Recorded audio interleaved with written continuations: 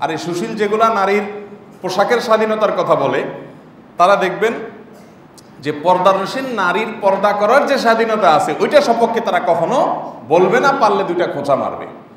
তো এদের চাইতে বড় ভণ্ড, এদের চাইতে বড় প্রতারক, এদের চাইতে বড় দুমুখা এবং ডাবল স্ট্যান্ডার্ড মানুষ আল্লাহর জমিনে খুব কম আছে। বাপখানা নেয় সুশীল। তারা খুব ভদ্র, নারীর পক্ষে কথা বলতেছে। আসলে নারীর পক্ষে নয়। মার চাইতে মাসির দরদ বেশি হলে এটা লক্ষণ ভালো হয় না।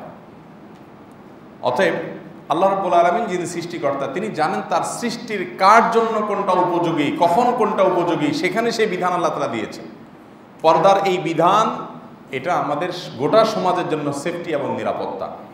আপনি ওয়েস্টার্ন কান্ট্রিগুলোতে চলে যান, যেগুলোতে নারী নাকি মুক্তি লাভ করেছে, নারীর নাকি স্বাধীনতা দেওয়া হয়েছে, নারীর নাকি অধিকার দেওয়া হয়ে গেছে, সেই দেশগুলোতে চলে যান।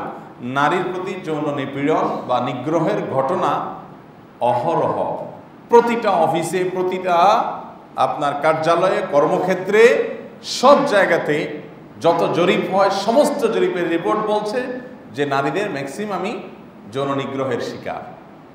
এর অন্যতম কারণ হলো আল্লাহ রব্বুল আলমিন সৃষ্টি করেছেন এমনভাবে যে একে অন্যের প্রতি আকৃষ্ট হবে। যত বেশি খোলামেলা করবেন, তত বেশি তার মনে ঝামেলার তৈরি হবে। আমরা এর আগে একটা এক্সাম্পল দিয়েছিলাম, বলেছিলাম যে বাজার থেকে মূল্যবান কোনো কিছু, ধরেন ব্যাংক থেকে টাকা, স্বর্ণ, গহনা, এগুলো নিয়ে আপনি যদি স্বচ্ছ পলিথিনে করে হন হন করে রাস্তার পাশ দিয়ে চলে যান, ছিনতাইকারীর কবলে পড়বেন, ডাকাতের কবলে পড়বেন, খারাপ মানুষের কবলে পড়বেন, তো সেটা থেকে বাঁচার জন্য আপনি নিজে নিরাপত্তা, নিজের ব্যবস্থা করেন। দুনিয়ার সব মানুষ ভালো হয়ে যাবে না। আপনি উন্মুক্তভাবে নিলেই যে কেউ সেখানে অন্যায়ভাবে সেটাকে নিতে যাবে চিন্তাই করতে যাবে, সেটা যেরকম অপরাধ, আপনি এটাকে ঝুলিয়ে ঝুলিয়ে গিয়ে অপরাধ করার প্রতি মানুষকে একরকম উদ্বুদ্ধ করলেন, আকৃষ্ট করলেন বা সহায়কের ভূমিকা পালন করলেন, সেটাও এক ধরনের অপরাধ। সেটাও অন্তত নির্বুদ্ধিতা আর কিছু না হলেও।